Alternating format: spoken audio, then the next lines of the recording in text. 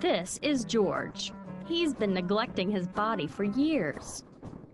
He's eaten unhealthy foods and hasn't exercised regularly. Part of the problem is that he enjoys eating foods high in cholesterol.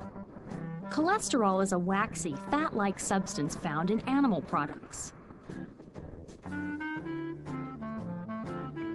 After George eats, the cholesterol in the food eventually enters his cardiovascular, or circulatory system. The circulatory system is a complex network that transports blood through our bodies.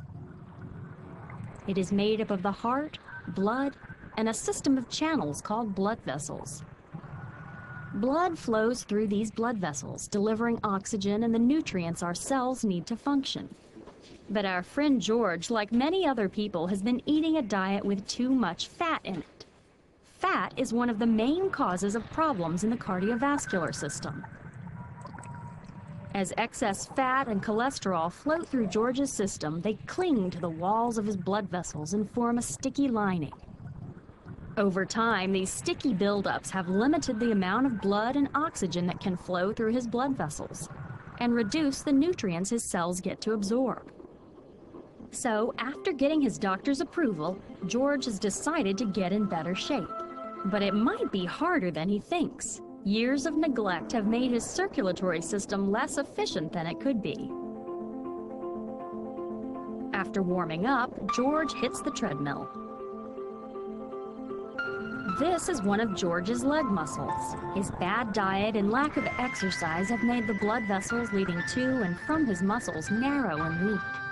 As he exercises, his muscles require increased amounts of oxygen and fuel, and waste products made by his working muscles begin to build up.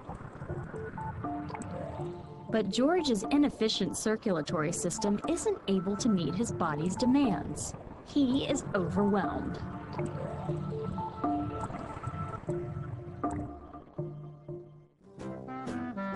He thinks his trip to the gym was a flop, but something is beginning to change inside George's body.